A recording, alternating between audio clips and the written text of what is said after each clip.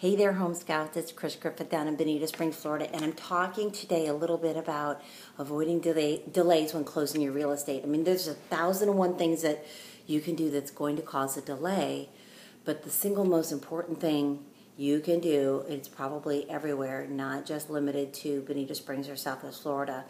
I would say uh, use the mortgage broker your real estate agent recommends to you. They usually can recommend two or three, undoubtedly, seasoned seasoned professionals that understand the mortgage market, understand loaning on condos, whatever your market challenges are. And I'm telling you right now, it is the single most important thing you can do if you are not paying cash is to listen to the advice of the people who are selling real estate every single day. I will also tell you that if you use one of the behemoth banks, uh, to to get your loan. Your loan package goes in and it doesn't come out. They are fortresses of darkness, and you will not close most of the time.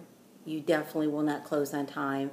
And I'll tell you right now, um, as a seasoned real estate agent, I literally tell the buyer's agent if it's my listing and it's a in a progressively moving uh, market that if your buyer chooses a lender that is not recommended by you, or they choose one of these large banks like um, Bank of America or Chase in particular, which seem to be notoriously difficult to work with, that if they use those and there are delays, I will advise my seller to move on to the next party and then raise the property's price and put it back on the market. Uh, because that's what's happening right now. We do have a shortage of inventory, we don't have time for delays. We don't have time to wait for these banks. So if if uh, consumers are not going to follow the advice of their real estate agent, we're done with that. So that's my advice to any consumer out there. Uh, listen to your real estate agent.